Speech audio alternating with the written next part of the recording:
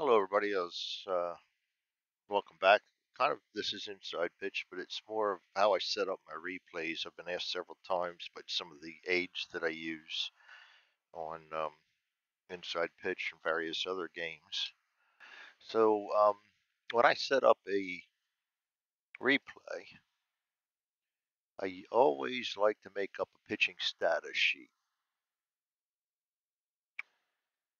And in this pitcher status sheet, and uh, I've got macros set up to do a lot of this shit for me, but I um, put the days of the season up top here, pitchers and then batters, and I go through and find out with a transaction, um, UF uh, or transactions if I can find them. Um, the um, losing my mind here because I should only be doing one thing at a time. I use the transactions for the season. Most of the time, I use ATGM. Uh, oh, I forget what the name is. Um, oh, let me see if I can find it real quick. Get my get my shit together here. Under baseball. I think they changed it. it used to be Yahoo groups, and now it's not.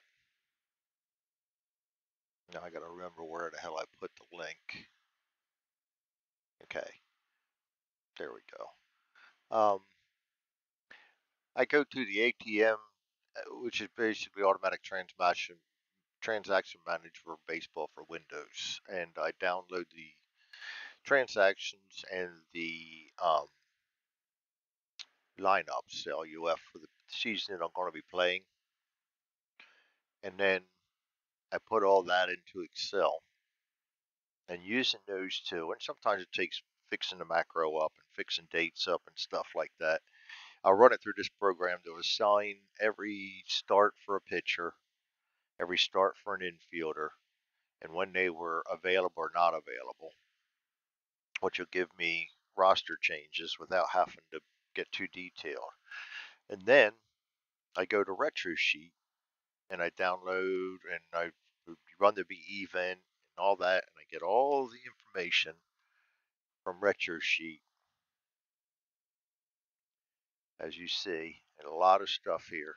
And I run it through for the pitchers and batters with the rosters put in here.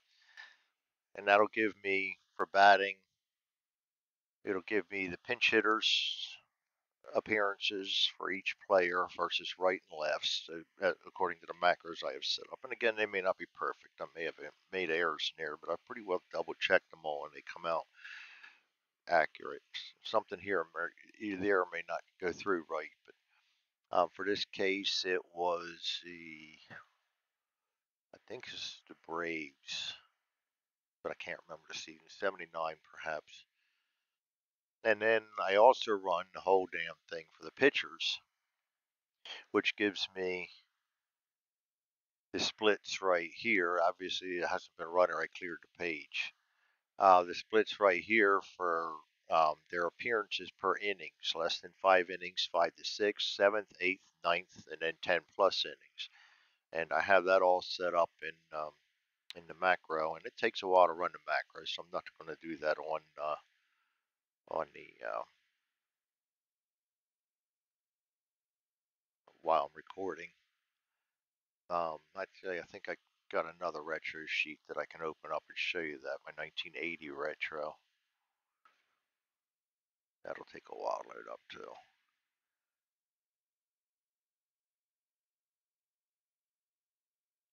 So between all that, um,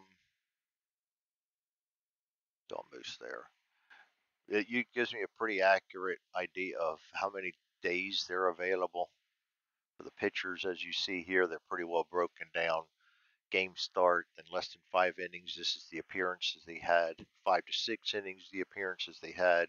Seventh, eighth, and then ninth. So it kind of nails your closer in pretty good for the end of the game and um, your middle relievers and stuff, and, and kind of helps you choose the pitchers without actually showing any favoritism, which I think is important. um, because uh, you'll tend to not use the good guys. I mean the bad guys, and you'll tend to use the overuse the good guys, and um, uh, we shouldn't do that. Uh, I'm gonna pause this real quick. Forgot to take my meds. All kinds of meds I gotta take right now. All right, so um, as you can see, for the for Atlanta for 1980, um, were playing right now. We're actually playing on the 29th, um, actually 29th of June. As I play, and I got away from it for a while and lost some of it, so it's not going to be as accurate as I'd like. I'd put their appearances down in here. Anybody that pitches more than one point innings, I'm try I try to make rest the next day. You don't always get that opportunity, but then if they pitch three days in a row, I try to make them rest. Starters get the rest the day before a start and two days after a start. And um, and of course an M or an I or a T or something to show up when they're not available in the roster. And that gives me then this number over here, which tells me how many blank spaces they have, and I can kind of come up with a range over here for um, the percentage that they will play based on their availability for that game. Same with the pinch hitters down here. Um, and I've got this has gotten a little more fine tuned as I go along. The 80s, one of my older ones.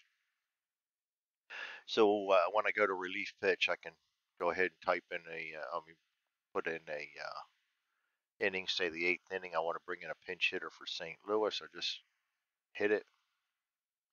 And of course, sells slower now, but that would be Kim Seaman in the eighth inning.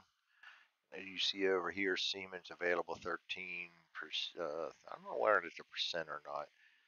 Weighted 13 out of 34. Um, I, I total. That's what I do. I total up the total amount of appearances they have for that, and they get a percentage off of that. And then we go up, um, roll a D100, and come right on down here and pick it. Um, so it is what it is. Um, and that kind of helps me utilize pitchers better. Pinch hitters, same thing versus rights versus lefts. Um, I just hit that. Say we're going to pinch hit for lefty versus um, for St. Louis. We're going to have Keith Smith come in. This way, you're more apt to use all the available players and not just the ones you want to use, because otherwise you'd never use a .000 pinch hitter. Um, the same reason as I use a strategy role for uh, IP is because you would tend to not run the guys that suck running, and you would overrun the guys that run well, and it just skew stats up. And to keep things real, I don't do that now. That's my my uh, big big thing. Transactions, I also keep them for playing with cards. Right now, with this, I don't have to. This I made up um, based on my old dice roller. Um, you've probably seen videos for that out there somewhere. Maybe I haven't done that. That was clunky, but I had all the bells and whistles in it. But I go in and I put all the information in, and usually this is by hand, but a lot of this I can get a um, PDF to Excel um, converter and run it through and be able to get this. But you gotta watch it, especially with the pictures.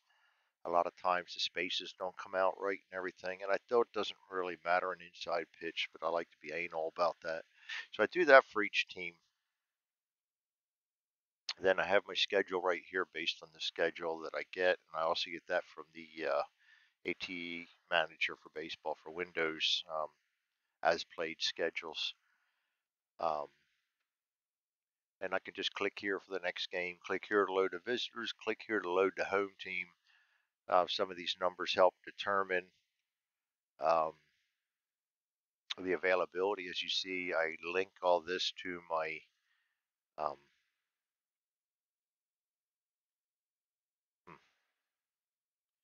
That later. I'll, i link all this to my um, pitching status so I know who's available for the game.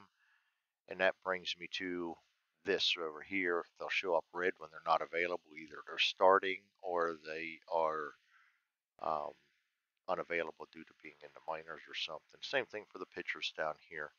Then I just put the position they're playing in a batting position here. Go to the visitors, hit my new game. Colors, colors, you assign colors to each team base. I take them right off the card. Use Paint Shop Pro or Paint to get down the uh, color breakdown for each thing and stick it up here. Text one, text two would be the top of the card. And uh, back down, I mean, not, not text, but background two and text two would be the third, or I mean, second, next line down. And of course, the third line for um, Montreal and uh, Houston one season. And I do not have um, the patience to work out all the if ends that are necessary to get the fourth color in there for Houston and 80. So Houston's just going to have three colors. Um, so uh, loads that all loads in. Then you just use little macros to click on the batter change. Uh, batter thing will roll the dice for the batter. It's not really. It is necessary if I have some flags in there. Um, little little things. All this is picked up by separating out the uh, the fielding up here. As you see, it's all NA right now because I don't have anybody slated to play. Um, so that's basically it. Um, a lot of this stuff I cannot share because you wouldn't have to buy the game. Um, this one's not so much because I don't have the bells and whistles in there, but I still wouldn't send it out with rosters and stuff. Um, a lot of work, but if you're playing a whole season, it makes things so easy. Right now, I can whip a game out in an hour. I'm still playing with my charts and dice because I don't have all these buttons working. So um, I do use Excel to roll the dice, but I found that it doesn't do anything differently. And I can play with the dice on my tabletop too. It just makes it so I can record it better. Um, so basically that's it. Um, you know, I can always send out a shell of this to somebody if you need it, but uh, there's an awful lot that goes into it. You'll probably get lost, and I'm not very good about answering questions online. I've got my health problems, then I got work, I got my wife's health problems. Um, at least the last thing on my mind is is um, picking up and answering questions. I'll get them when I get them, but I can't guarantee anything. So most of the time, you just be lost with this. Uh, but there it is. That's how I run a season replay. Currently, I have 2008 gone and 1980 gone from way back when AP first started up. And I have uh, 1969 gone also. And yes, I have made um, I have made games, uh, I, uh, IP games for all I have, uh, uh let's see, uh, there's my 1979 game, which I'm still working on. That one needs a lot of help. I got to get that one. Got to get that one. Actually, I'm going to redo that one to make it more modern as to what I did. That one I'm still converting over from 80 because I'm playing strictly cards in this. I had a lot of time in my hands in the hospital and rehab, so I worked on this So I had the time. Put the, the laptop up on my legs, and while I'm laying on my back doing nothing, make the best of it. Um, let's see. 79, I have 69 right there. 69's uh, uh, a, playable. I've been playing that one a lot. Boston and Baltimore are my next up. I just got done with Cardinals and the uh, Cubs. That one I don't post on. I just play that here and there. Give myself a break from 80 in 2008. But uh, these are things I do to, to structure down and um,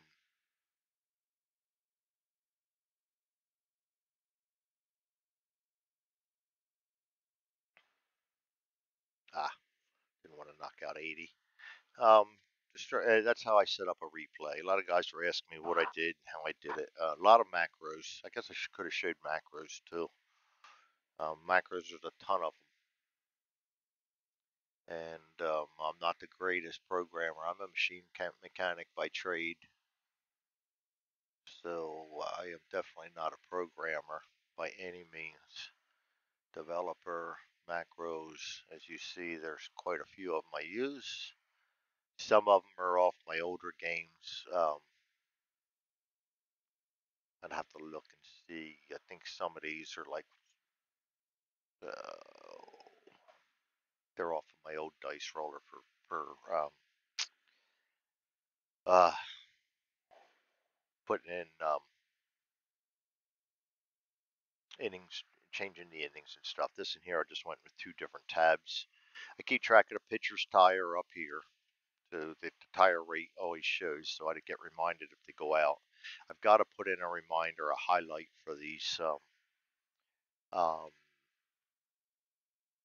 uh, special Ks. I do tend to forget them. If I hit the batter's die and that's available, I want them to light up reds if this is less than their number or equal to it, so I can I can remember that uh, I got to check. I got to do a strikeout if it's an out.